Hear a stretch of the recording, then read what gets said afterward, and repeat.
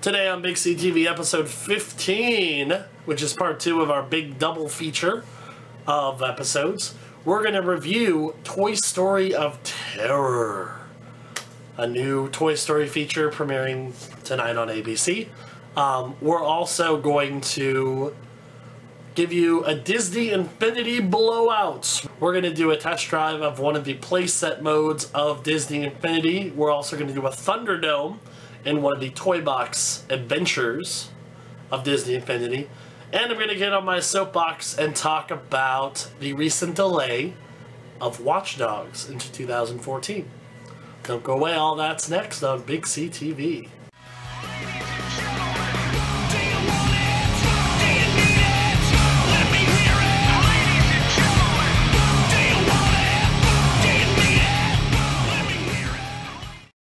Once again. This is Chris, aka Big C, and welcome to episode 15 of our double header. Um, 14 was our first mark. 15 is our second, hence the reason why I'm wearing the same outfit for two episodes. So, today's episode is more so about Disney than anything else. Um, we're going to do a review of the recent Toy Story Halloween special. We're also going to do lots of stuff on Disney Infinity, and then I'm going to get on my soapbox. So, let's get things kicked off with our video review of Toy Story of Terror. Ooh.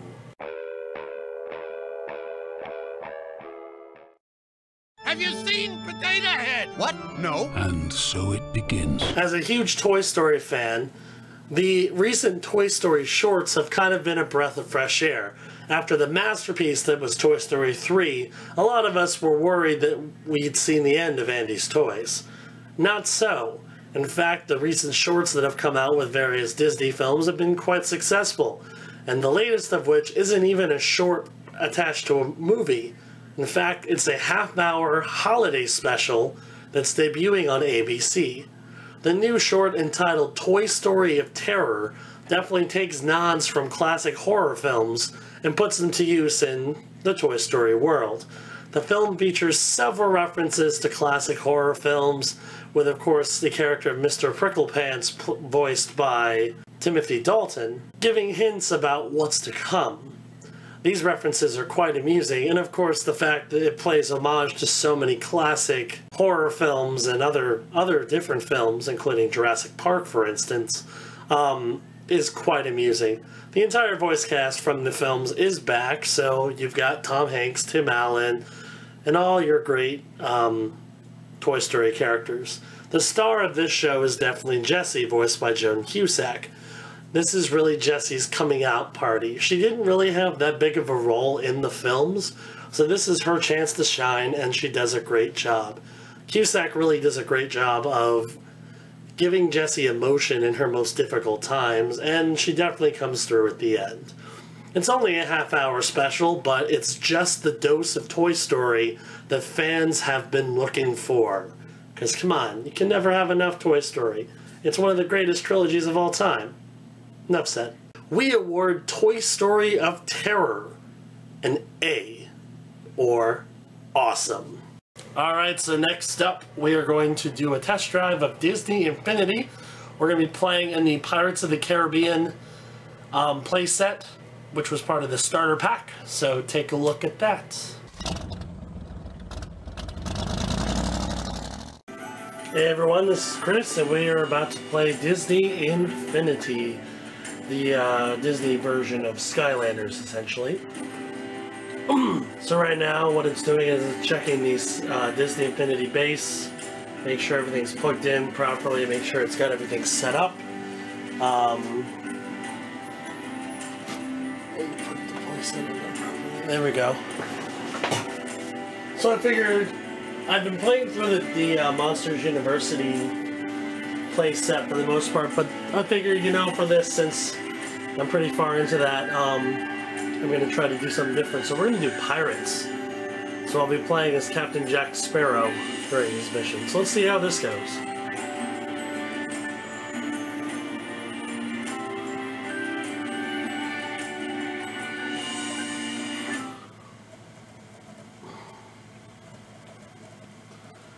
So, in case you didn't tell, Infinity is actually really fun. Um, get these different figures. You can put them in the game. You can get power ups and all these different things. So right now I have Captain Jack Sparrow as my my character, and then um, I'm using the Bolt power up, which I just got yesterday. So I don't know what it does, but we're gonna find out because we can. So let's see what happens in the pirates world. Once again, the seas are mine to rule. Fire!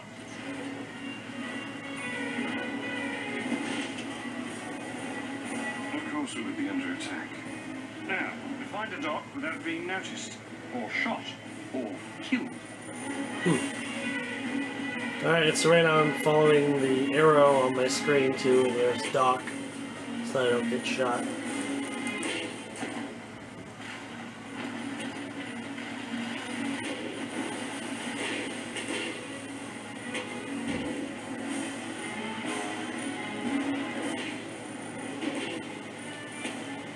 Now, in addition to Jack Sparrow, there are two other figures you can use for the Pirates of the Caribbean playset. Um, they also have Captain Barbossa and Davy Jones. So This looks dockable. if you buy those two figures, you can use them in this playset as well. Alright, I'm going to dock my dinghy. There we go. So worry, mate. You did your best, I did my best, and it's just my best. What's more better? Ah, Italian Rigetti. Always good for a laugh.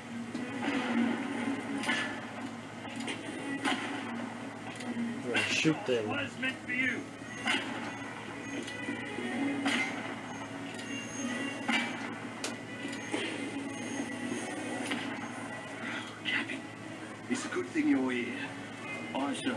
Afraid we brings bad news about our Mr. Gibbs. He's not dead or nothing. Just been locked in solitary confinement's all. Poor blighter. But he knows where to find him. Follow us. Alright, I'll follow you guys.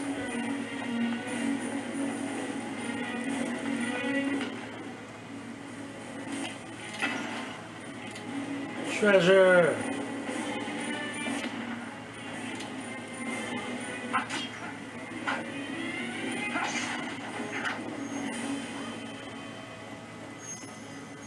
Yay, I found some treasure.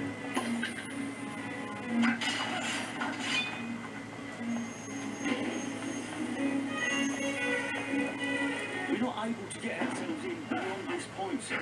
Might you be able to help us?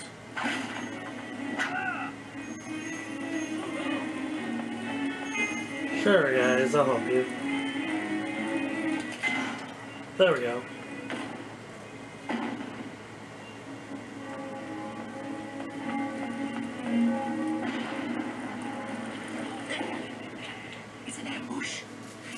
If any begs our pardon, I'll pick this here lock while you take down the blackguards. We're with you in spirit, sir. Okay, thanks, guys.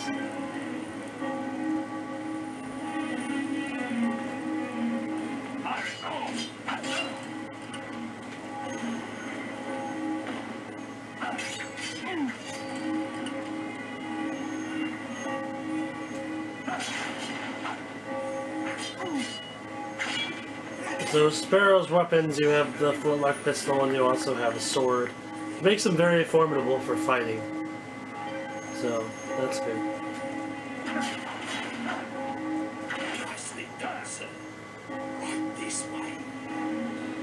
Alright. So let's move on to our next mission.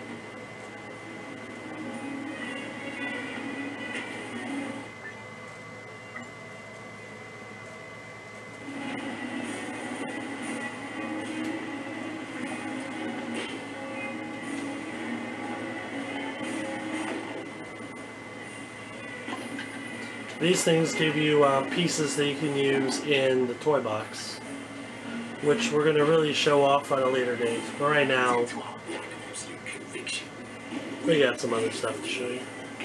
It's a bit more than we bargained for. Uh, but you'll find Gibbs up in that tower.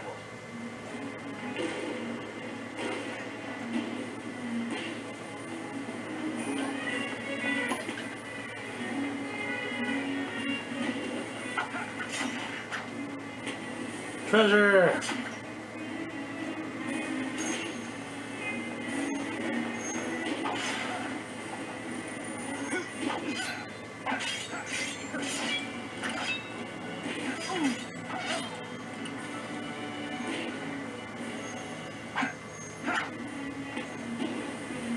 Alright, so let's keep going. Try trying to rescue Mr. Gibbs before we end this test drive.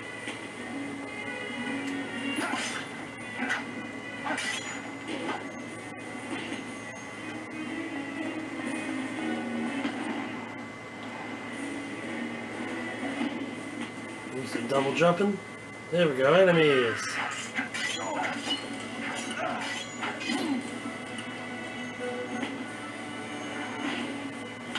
Oh crap.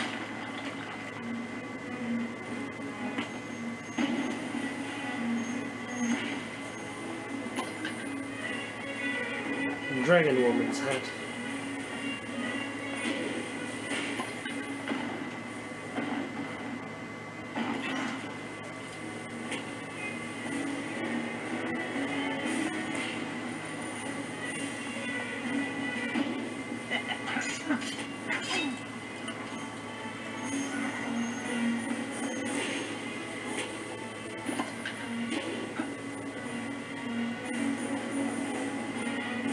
Getting there, Gibbs. I'm coming to you.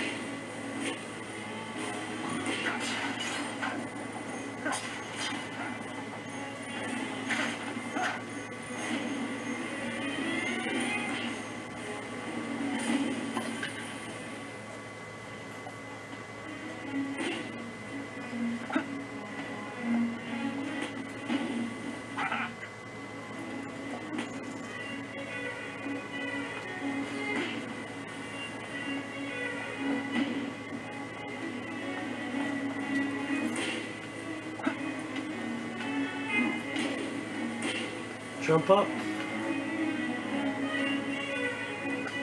her coming. You're almost here, Captain. I'm working on it, Don't Gibbs. look down, Captain.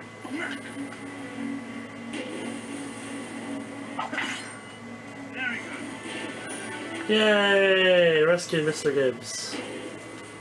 Well, Mr. Gibbs, Almost. is the map in your possession? Sadly, no. I found its hiding place, sure enough, but was caught breaking in Good together. thing I have it in We best be off if we want to beat Davy Jones to the map. Elsewise, he'll be on his way to collecting the treasure.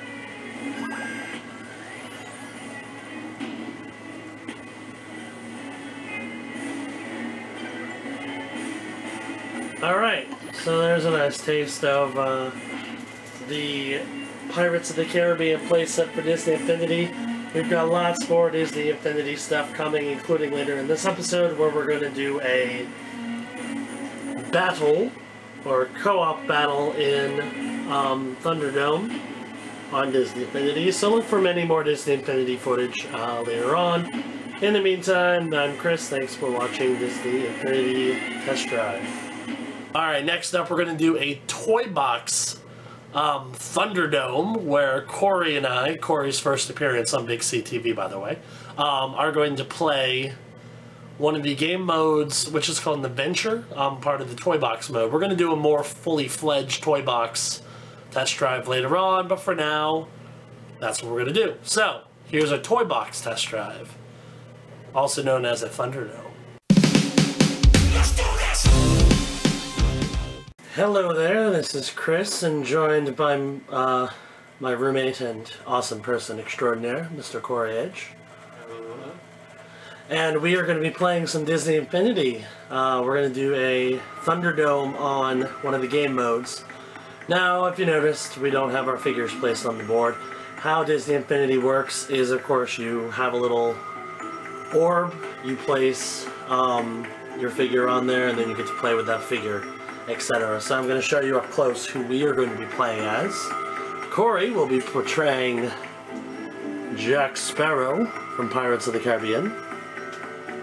And I will be playing the Pumpkin King himself, Mr. Jack Skellington. So it's the Jack and Jack combo. Then we're going to be doing a little mini game called Sumo. It's one of the adventures on Disney Infinity. So now I'm going to place our two people on the board. Corey's going to join real quick. as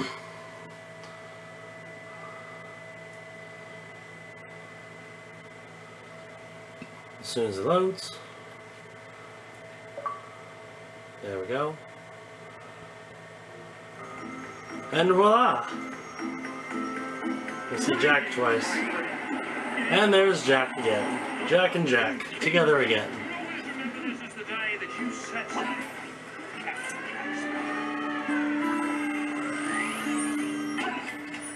So now we're gonna play a mission. To do that, why am I in orb?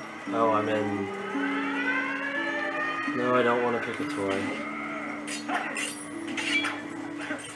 Pick an adventure. Sumo. this is a very challenging mini game um, where you get to it, it's kind of like a King of the Hill thing. But while you're battling waves and waves of enemies and collecting power ups and such, um, the ground below you is collapsing. So you have to try to, in addition to battling and not getting killed, avoid getting knocked off. Or in co op, you have to avoid knocking your teammate off as well. Which Corey and I have accidentally done many, many a time. It's challenging. So here we are.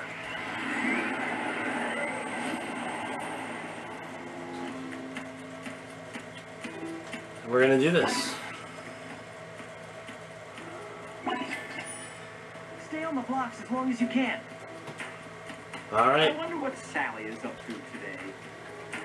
Let's see what we got.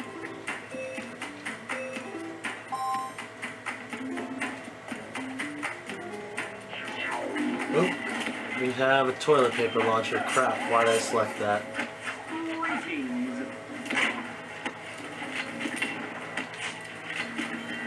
I want a better gun.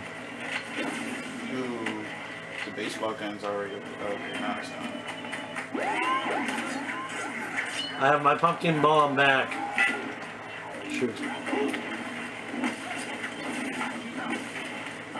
This is Jack's default weapon. He throws little pumpkin bombs at enemies. So, oh, there's a baseball gun. Baseball gun's from Phineas and Ferb. It's pretty powerful, but you have to be careful not to knock your teammate off with it. It's also very slow reload. But if you use it properly, it can be great.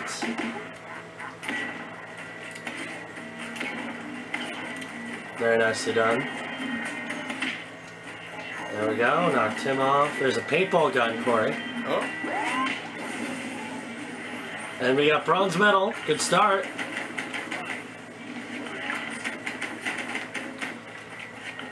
Oh shoot. We're killing these dirt bots. There's a Buzz Lightyear blaster. I'm gonna use that now. Doing that on purpose. I killed him.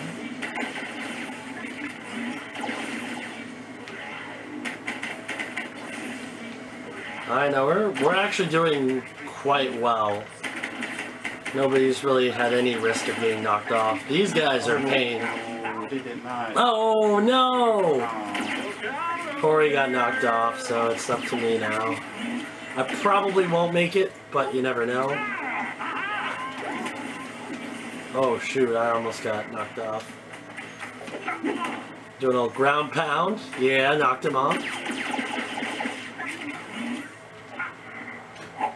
No, no, and I fell off. Well, that was a good example. We did decently. We're probably going to try again.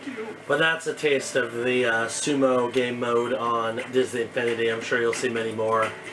We're going to be playing this game for a long time because there's so much to do in it and so much to see and figures to get and all that good stuff. So, uh, yeah, that's our test drive Thunderdome of the uh, sumo match, even though we were co-op. I technically won, but it was co-op, so it doesn't really count. Anyway, thanks for watching.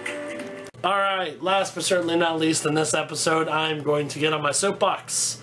And I'm going to talk about the recent delay of Watch Dogs into 2014. A big deal for us and for gamers everywhere looking forward to kicking off the next gen with Ubisoft's highly anticipated open world shooter. Let's get on the soapbox. Okay, so Watch Dogs, highly anticipated game. A game that everyone was expecting, both for current gen and for next gen. yesterday, which is a little less than a month before the game was supposed to launch.